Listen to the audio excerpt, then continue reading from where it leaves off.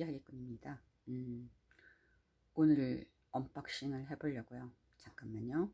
일단 주소지는 뜯었고요. 칼로 또 얘도 뜯고 더 조금 있다 다시 뜯. 이게 뭘까요? 색깔을 보니까 호접란이에요. 네, 호접란 하나 더 샀어요.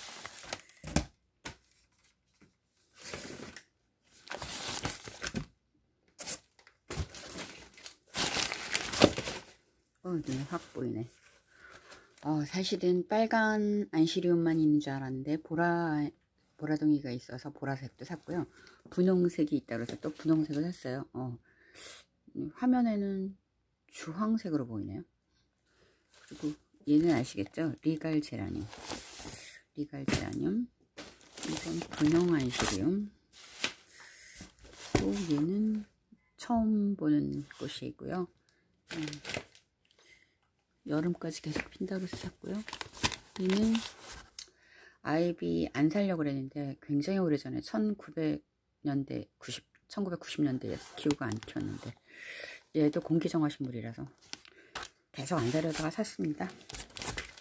그리고 얘는 바나나 크로톤인데요. 음, 사무실에 집에서 두 번이나 갖고 왔는데 두 번 다 죽여서 다시 한번 또 키워보려고요. 올해는 황룡해라서 황금색이 좋다니까. 얘는 란타나. 예전에 되게 잘 켰는데 아이들이 아, 그러니까 제주도에 수학여행 간 애들이 그냥 손가락으로 먹었으면 됐을 텐데 이 협죽도 그거를 나무젓가락 만들어서 애들이 죽어서 그 여고생들이 그 속상해서 바로 죽 그냥 보내버렸었거든요 협죽도. 얘를 다시 키워보려고요 협죽도를. 근데 여러분 어린아이나 그 애완동물 키우는 분들은 절대로 키우지 마세요. 이 협죽도 아주 엄청난 맹독이에요. 어, 다시 전부 다 풀러서 보여드릴게요. 이시 다 개봉했어요. 저 분홍 어, 이름이 잘 안 써있고 그냥 분홍 호접란이라고 되어 있었는데 그냥 샀고요. 어,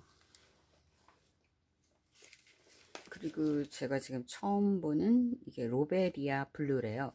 지금 이거 lobelia blue 이건 분홍 안시리움 분홍 안시리움 보라둥이하고 그러니까 보라색하고 빨간 안시리움 있습니다. 안시리움도 키우는 게 그래서 키웠고요. 음, 아이비 아이비도 공기정화식 물이니까 또 샀고요.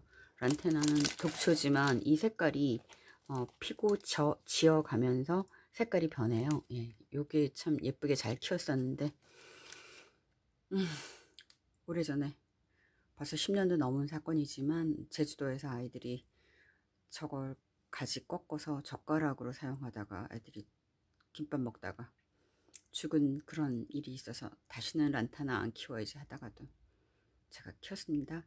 음, 여기는 애완동물도 없고요. 아이도 없으니까요. 여기는 바나나 크로톤.